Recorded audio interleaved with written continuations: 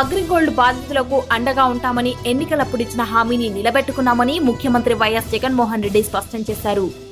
దీనిలో భాగంగా పది లక్షల నలభై ఐదు వేల కుటుంబాలకు తొమ్మిది వందల ఐదు పాయింట్ ఐదు ఏడు కోట్ల రూపాయలు చెల్లిస్తున్నట్లు సీఎం జగన్ తెలిపారు ఇరవై వేల రూపాయల లోపు డిపాజిటర్ల ఖాతాలో ఆరు వందల అరవై ఆరు పాయింట్ ఎనిమిది నాలుగు కోట్ల రూపాయల నగదు జమ చేశామని పేర్కొన్నారు ప్రైవేట్ సంస్థ బాధితులకు న్యాయం చేసిన దాఖలాలు దేశంలో ఎక్కడా లేదని పేద ప్రజల కోసం ప్రభుత్వం బాధ్యతగా తీసుకుందని సీఎం జగన్ అన్నారు మరి కాసేపట్లో తాడపల్లిలోని క్యాంప్ కార్యాలయంలో అగ్రిగోల్డ్ డిపాజిట్ ధారల బ్యాంక్ ఖాతాలో పరిహారాన్ని సీఎం జగన్ విడుదల చేయనున్నారు